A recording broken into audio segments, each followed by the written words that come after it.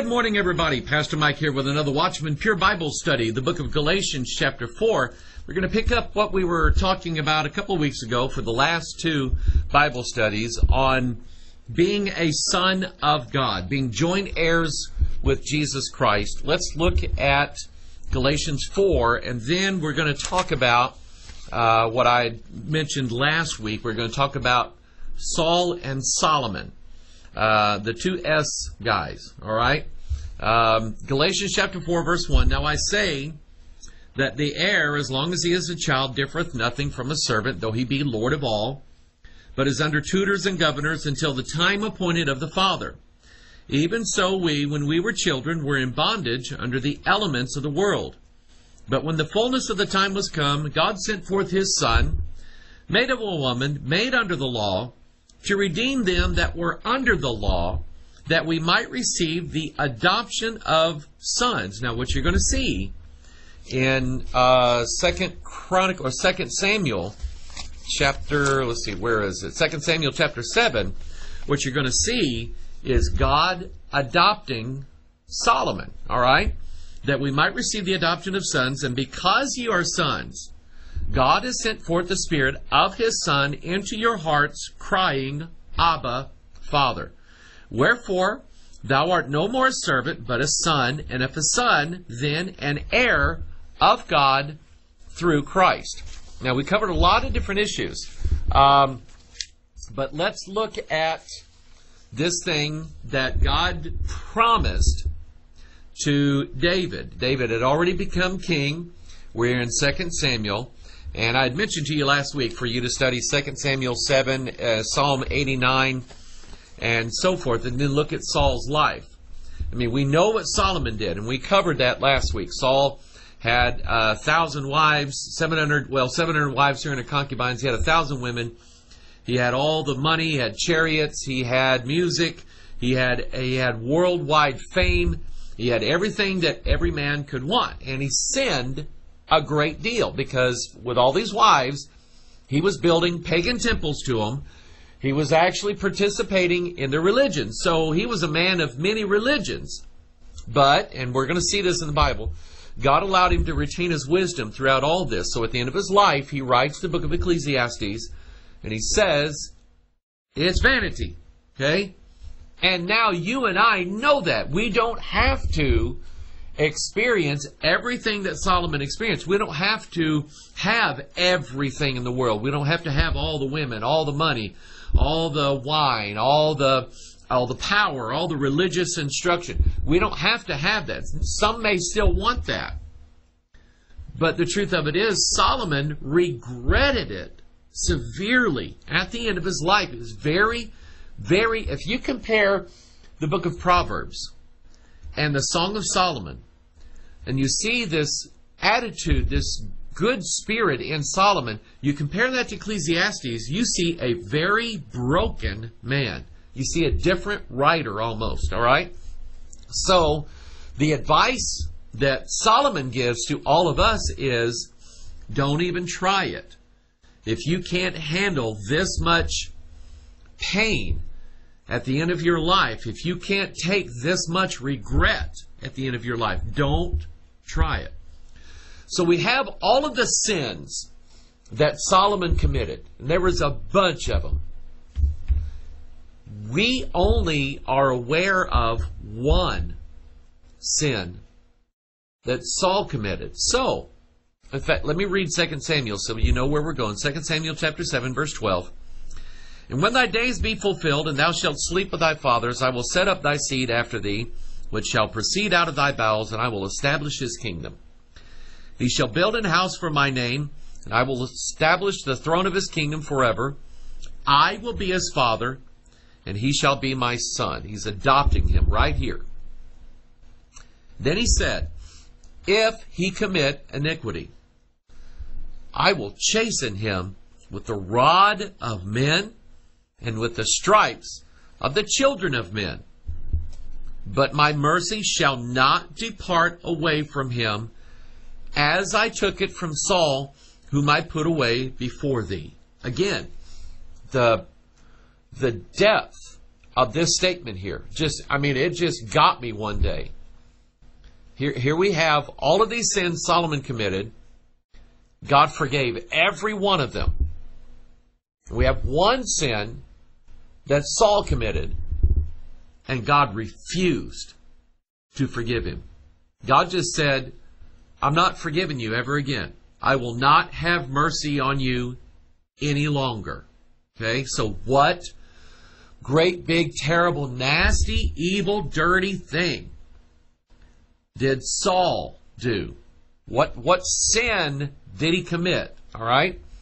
Um, let's go as a backup now, as a double witness to what God was telling uh, David in 2 Samuel 7. Let's go to Psalm 89 because you're going to see it's very, very similar in what it says and how it says it. It basically says, I'll be his father, he'll be my son. I'll not take my mercy away from him, my covenant. I'll keep my covenant with him forever. Psalm 89, verse 20. I have found David my servant, with my holy oil have I anointed him. With whom my hand shall be established, mine arm also shall strengthen him. The enemy shall not exact upon him, nor the son of wickedness afflict him. I will beat down his foes before his face and plague them that hate me, or that hate him. But my faithfulness and my mercy shall be with him, and in my name shall his horn be exalted. I will set his hand also in the sea, and his right hand in the rivers. He shall cry unto me, Thou art my Father, my God, and the rock of my salvation. Also I will make him my firstborn, higher than the kings of the earth. My mercy will I keep for him forever, and my covenant shall stand fast with him. His seed also will I make to endure forever, and his throne as the days of heaven. If his children forsake my law and walk not in my judgments, if they break my statutes and keep not my commandments, then will I visit their transgression with the rod and their iniquity with stripes. Nevertheless, my loving kindness will I not utterly take from him, nor suffer my faithfulness to fail. That is exactly what he said here in 2 Samuel 7. It's almost like David, upon hearing this, then wrote a song, Psalm 89, to match what he had heard from God. Um, verse 34 My covenant will I not break, nor alter the thing that is gone out of my lips. Once have I sworn by my holiness that I will not lie unto David. His seed shall endure forever, and his throne as the sun before me. It shall be established forever as the moon, and as a faithful witness in heaven, Selah. Now, while I'm thinking about this, for those of you who struggle with, does God still love me? Uh, even though, you know, the, the full um, bondage of sin He has not broken in my life. Uh, I keep doing the same things over and over. I keep asking God's forgiveness. Will God stop forgiving me? Um, has God walked away from me? Is God going to forsake his covenant to me? And so on and so on. If, if God has designated you by uh, giving you the Spirit of His Son, crying, Abba, Father, if God has designated you as His Son, then He will not stop having mercy on you. Period. He will not stop having mercy on you. Now, there's a difference between some church or some preacher or some person telling you you're saved and God telling you you're saved. Because there's been a lot of people who was told by a church or a preacher or an altar worker of some kind or anybody, oh, you prayed? Oh, you're saved. Okay? They may not be.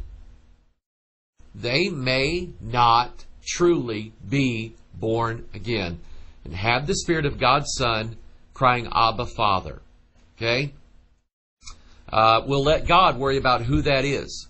Okay? I'm not to look and point fingers and say, well, I can tell they're not saved. I can tell they're not saved, and I don't think they're saved. They're not saved like me. That is not my place. My place is to take what I'm learning from the Word of God and apply it to me, to work out my own salvation with fear and trembling. It is my responsibility to examine the Scriptures and let God tell me whether I'm saved or not. Because so many people told that they're saved by a church or by a preacher or an evangelist or uh, you know someone visiting their home or whatever. And then telling them well no, it you know it doesn't matter what you do after this you'll still go to heaven. Don't worry about it. Don't worry about anything. Okay? God's got everything covered. There's this um, i was informed there's this new ideology. Of course there's nothing new under the sun but i've never heard of it before but apparently some some guys, some preachers, uh, one of which I know is into this bold faith movement or some kind of new grace movement. And it espouses adultery and drunkenness and you know it's all covered under grace. Don't worry about it. You can do these things. In fact it's probably better to go ahead and sleep with this woman you, you wanted you're lusting after once get it over with get it out of your system so it doesn't ruin your marriage you know, rather than just a, you know, lust after her and, and continue on. And I'm just going, what? And these people are believing it because a church or a denomination or a minister or somebody has told them, oh, you can do these things still be saved. Okay? And it's without any retribution from God whatsoever. Now, God's very clear on this issue as a saved, born again, you have the Spirit of God, God's Son in you. You are God's Son, and if you think you can go out and sin and do whatever you want to, God's got a rod waiting for you when you get back home. And He's going to take it to you. And He's going to, I mean, He is going to, I used to have a teacher. I'm going to burn your bottom real good, Michael Hoggard. Okay? Whew. And He did. God will, God's going to burn you He's going to take a rod after you. He's going to whoop on you and beat on you in your life until you can't stand it, until you come around and say, I can't do those things anymore. That is a son of God. Okay? So, take these things and ask yourself, Am I saved? All right? Um, now, so we have the double witness here, Psalm 89. God saying, will, He will be my son, I will be his father. Um, I, I will never take my mercy away from him. I'll never break my covenant with him. If he sins, I'll take a rod after him and make him wish he had never done that, ever. But I will not take my mercy and my loving kindness away from him. The chastening of God is the evidence that you are truly born again because you receive that chastening and you know it's God loving you and God correcting you and you want it. There'll be times when you'll say, God, I think I probably need a whipping for that. Okay? You be honest before God. Say, God, you need to chasten me. You need to chastise me over that. God, do not let me get away with those things. Okay? That's the that's the sign of an honest, truly born again Christian. All right, now, as far as Saul, why did God take his mercy away from Saul? Why did he do that? So, let's start out with the beginning of Saul's becoming king. We go to 1 Samuel chapter 10, and for time's sake, I'm not going to get into the whole story about the missing donkeys and how Samuel uh, found him or whatever. Needless to say, Samuel anointed him. He found him. God said, This is the man and Samuel anointed him. So, after this, let's see what God said. 1 Samuel chapter 10 verse 6. And the Spirit of the Lord will come upon thee, and thou shalt prophesy with them, and shalt be turned into another man. The Spirit of the Lord. I just preached this last Sunday. The Spirit of the Lord and this book go hand in hand. So, Now Saul, I mean, this is the very beginning. The Spirit of the Lord comes upon him, and he's prophesying. He is saying, This is thus saith the Lord. And he's doing doing it with the prophets. And everybody's going, Is Saul among the prophets? What in the world's going on here? Boy, that man's, boy, he's something. He's different. Okay, God turned him into another man. Verse 9, same chapter. And it was so that when he had turned his back to go from Samuel, God gave him another heart. Started out well, didn't he? And all those signs came to pass that day. And when they came thither to the hill, behold, a company of prophets met him. And the Spirit of God came upon him. And he prophesied among them. And it came to pass when all that knew him before time saw that, behold, he prophesied among the prophets. Then the people said one to another, What is this that is come unto the son of Kish? Is Saul among the prophets? These guys are going, Yeah, we knew Saul. He wasn't a preacher, we can tell you that. And now listen to him. I mean, he's preaching. Boy, listen to him prophesy. He's good. All right? So it's all real nice and good. And it, see, you can take this idea and apply it to the church you used to go to. That when it started out, boy, they preached the Bible, didn't they? Preached it good and straight. Using old King James Bible, weren't they? Or a denomination or a ministry that you followed for years. And you saw the decline. Oh, they started out good. Oh, wow. Boy, I mean, they just started out great. Yippee. And then over time, you saw the decline in them. Or let's say you saw this in a person, maybe somebody in your immediate family, maybe somebody in your extended family, a cousin or an aunt, uncle, or whatever. And you saw them when they first started going to church, and boy, you thought, man, oh, boy, good, they're saved, amen. And they just start out brilliant. A Bible college, a seminary, a, a radio ministry, a TV ministry, or an internet ministry. Boy, when they started, they was started out really good. I mean, they was just giving the Bible out, and boy, we was eating it up, and boy, was really being fed from it. And then boy, something happened, and I don't know what it was, but all of a sudden, man, it just just got to where we couldn't listen to them anymore. We we stopped supporting them. We couldn't go to that church anymore. We stopped going to that Bible study, that Sunday school class. We couldn't sit in there anymore. I mean, when it started out, and we was all using the same Bible, but then we just had to pull out because a, a turn had been taken.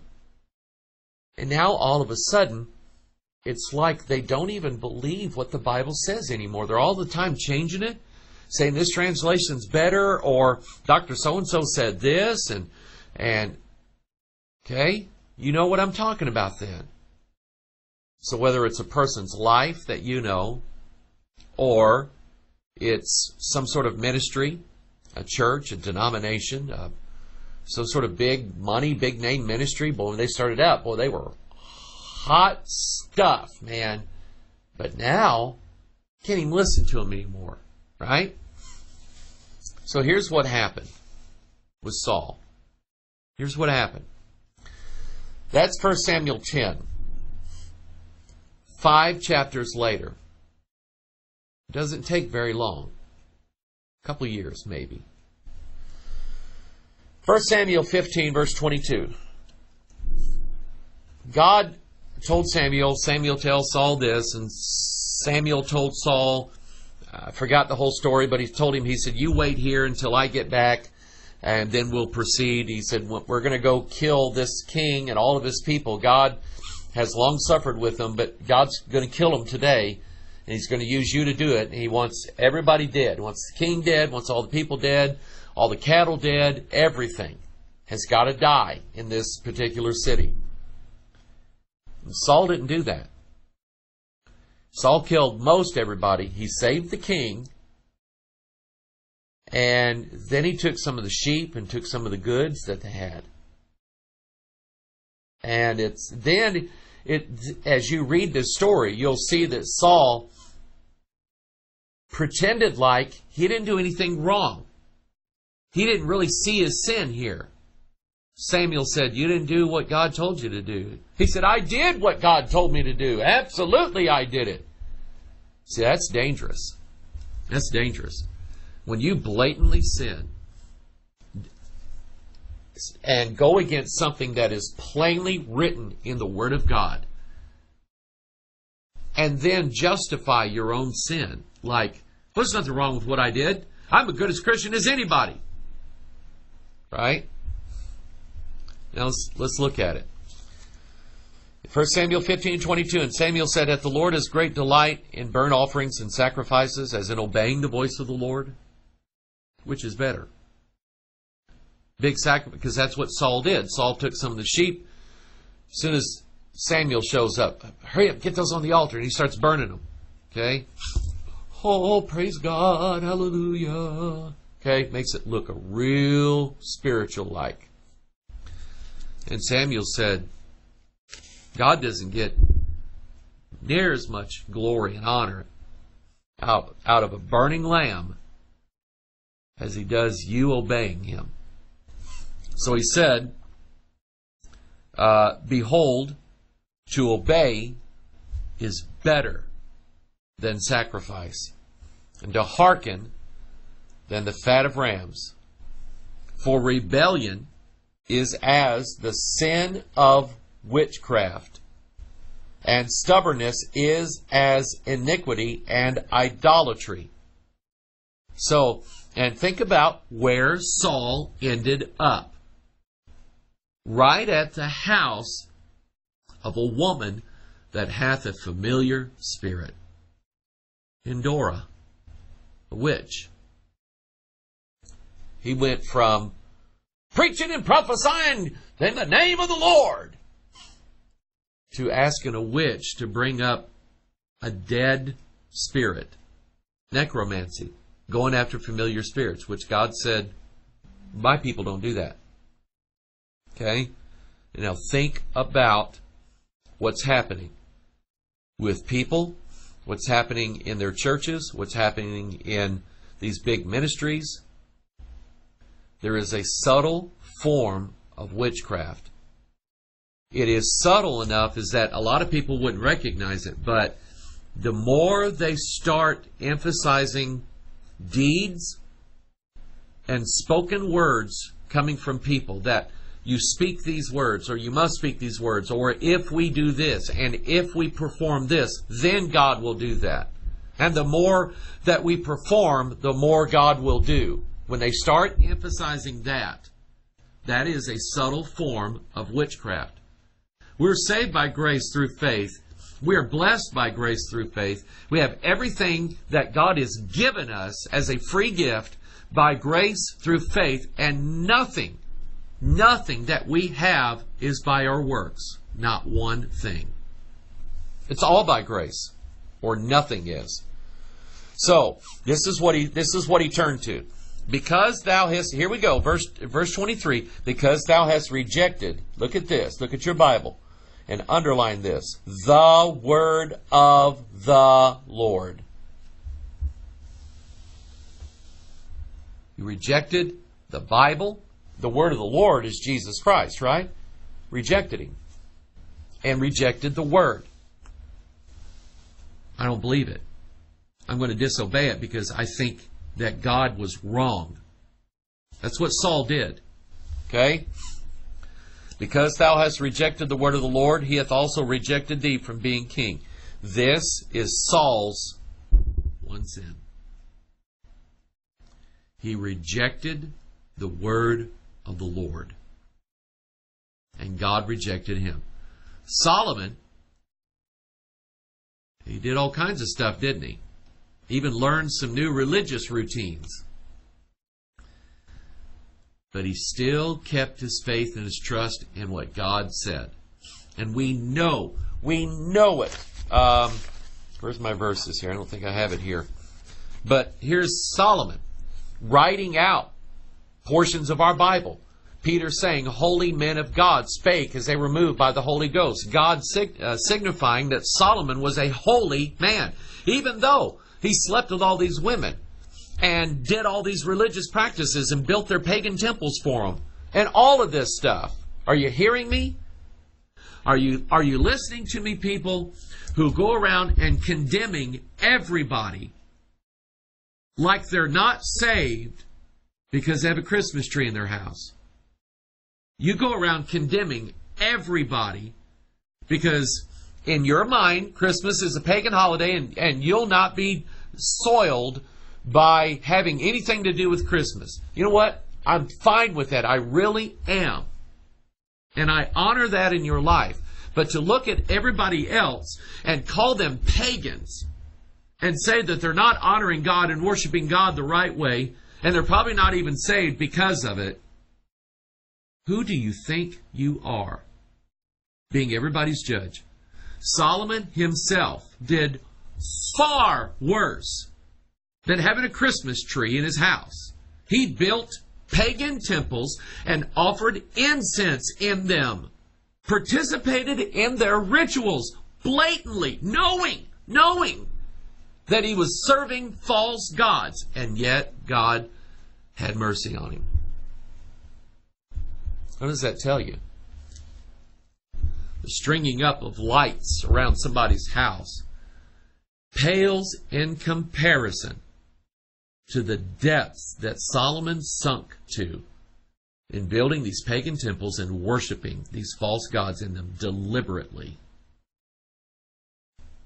And yet Solomon is in heaven. Saul, God took his mercy away from him. Look at this.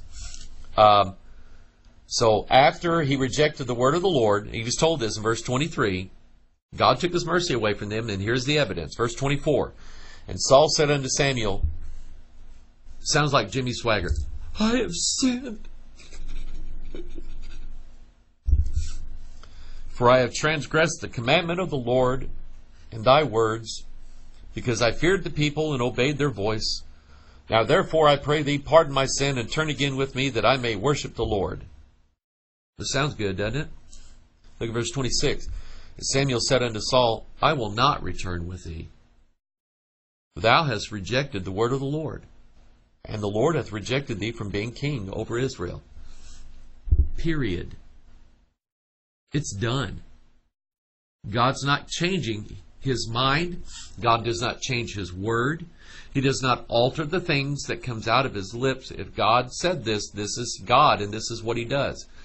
You reject the word of the Lord at your own peril. And I'll just say this these kind of people probably are not listening to me today, although you may. But there are people who, oh, we have nothing to do with Christmas. We have nothing to do with Easter. Those are pagan, evil days. We worship Yahuwah and keep the Passover. Okay? Because that's what Yahuwah would want us to do had they had the New Testament been preserved in the, its original Hebrew, which never happened. And we don't trust that Greco-Roman paganized New Testament. It's not the New Testament, it's the renewed covenant. Going back to Sinai is what we're all about. They reject the whole New Testament. But they don't do Christmas. And they don't do Easter and they don't have a Christmas tree, and they don't have lights, and they don't have this, and they don't do that, and they keep a, a Jewish traditionalized Passover Seder that just barely looks like something that they did out of the Bible, out of the book of Exodus. Just barely does it resemble the Passover that Moses kept. Okay? Just barely does. The rest of it, Jewish tradition from pagan sources. That's what Passover Seder is all about. And people gloat and brag and boast about all the stuff that they don't do and all the things that they do that they say honors and please God. I have short hair. I always wear long pants. Uh, my wife always wears a dress. uh, we don't watch television, and we don't listen to radio, we don't do this, and we don't do that. That's fine. Uh, uh that's great.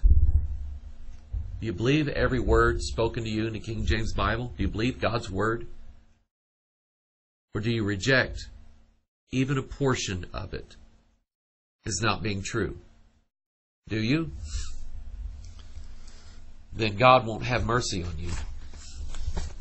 And you can clean up everything you can on the outside and be rotten to the core on the inside, and God will no longer have mercy on you. You are not a son of God. Period. It's not, and I, I don't see any evidence that Saul became a son of God and then God had to kick him out and bastardized him. I don't see that. I see Solomon being designated even before he's born as a son of God, and God never took his mercy away from him. Never did. So then, let's look at the evidence now. Here, toward the end of Solomon's life, he's writing Bible verses. Near the end of Saul's life, he is a miserable, demon possessed wretch that hates even the sight and thought of David. 1 Samuel 16:14 But the spirit of the Lord departed from Saul. The spirit of the Lord. Now, back in 1 Samuel 10 verse 6, the promise was the spirit of the Lord will come upon thee. And here, the spirit of the Lord departed from Saul. Remember what the spirit of the Lord is? It's this. So, God gave him this. Saul took it for a while and then started not believing what God said and rejected it. So, was it, and I know the Bible says, but the Spirit of the Lord departed from Saul, okay? Who moved first? Was it God taking away his spirit from Saul or Saul rejecting it? It was Saul rejecting it, and God knew it. That's why he took his mercy away from Saul. See, salvation is all about grace through faith. Here's grace, and it's got to work through something in our life, and the only something that grace works through in our life is our faith in what God said. And if you have, if you really have God's Spirit of His Son crying, Abba Father, in you, you will believe this book. You'll believe it. God's Spirit will cause you to believe it, will lead you into believe it. You'll, you'll, you'll not believe anything else. And you'll never walk away from it. Never, ever, ever, ever will you walk away from it. Um, so the Spirit of the Lord departed from Saul, and an evil spirit from the Lord troubled him. Okay? And then, let's, you know, we already know the story, but rebellion is as a sin of witchcraft. The Spirit of the Lord departed from Saul. How does it end up for Saul? 1 Samuel 28. Now Samuel was dead, and all Israel had lamented him and buried him in Ramah, even in his own city. And Saul had put away those that had familiar spirits and wizards out of the land. The Philistines gathered themselves together and came and pitched in Shunem. And Saul gathered all Israel together, and they pitched in Gilboa. And when Saul saw the host of the Philistines, he was afraid, and his heart greatly trembled. And when Saul inquired of the Lord, the Lord answered him not, neither by dreams, nor by Urim, nor by prophets. Very important. Here's, here's Solomon. Near the end of his life, the Holy Ghost is giving him inspiration of the Word of God, and Solomon is writing it all down. The book of Ecclesiastes. Go read it. Holy men of God spake as they were moved by the Holy uh, Spirit um, or Holy Ghost. Whole, um, uh, all Scripture is given by inspiration of God. Um, we have a sure word of prophecy. What's the verse I'm trying to think of? Um, where it talks about the the how God moved and how God worked in in people's lives. Anyway, you get the idea. You get the gist of what I'm saying here. uh, 2 Peter chapter 1, I believe. I got to read it. It's going to bug me. I'll turn the camera off and then have to turn it back on and say, hey, I found what I was looking for. Uh, 2 Peter chapter 1. Um, knowing this first, that no prophecy of the Scripture is of any private interpretation, for the prophecy came not in old time by the will of man, but holy men of God spake as they were moved by the Holy Ghost. I think that's what I was thinking of. But anyway, so here is uh, Solomon receiving the inspired word through him. God is giving it to him, and then Solomon is writing it down. But then you have Saul. And Saul prays to God, and God is silent. That sounds like the uh, the uh, contemplative prayer people who swear that there are more profound things from God in his silence than there is when he speaks. I kid you not, is what they believe. They're hearing God in silence. Whew. So, God is silent to Saul, and he's not answering him by prophet.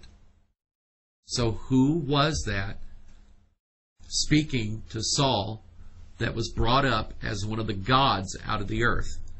It was not Samuel because God won't speak to Saul by the prophets. He just won't. It was a familiar spirit. That's what Saul got turned over to. The last religious act of Saul's life was witchcraft and divination and seeking a familiar spirit. What does that tell you? Lesbian, atheist, well, he's not a lesbian. Atheist witch. That's what Saul became, and God stopped forgiving him. He took his mercy away from him, and Saul ended up plunging his own sword into his chest.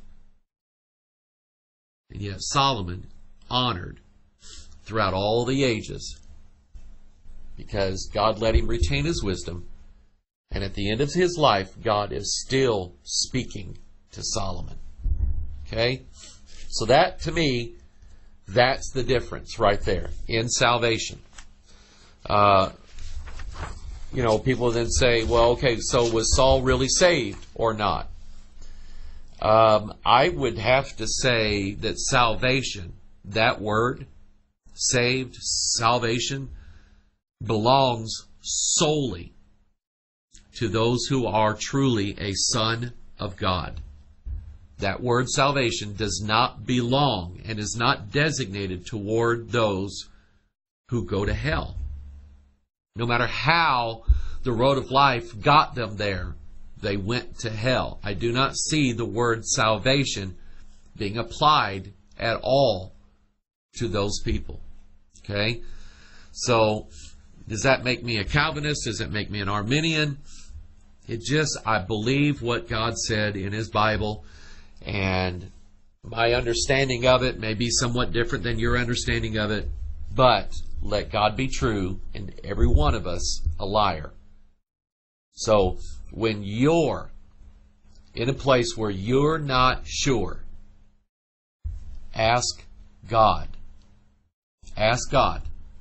And then go to His Word and let God show you from His Word where you're going to spend eternity. Okay? God will show it to you. I promise you He will. God bless you. I love you. You're the reason why we do what we do. You keep us in your prayers always. All right? We'll see you next time. Bye bye.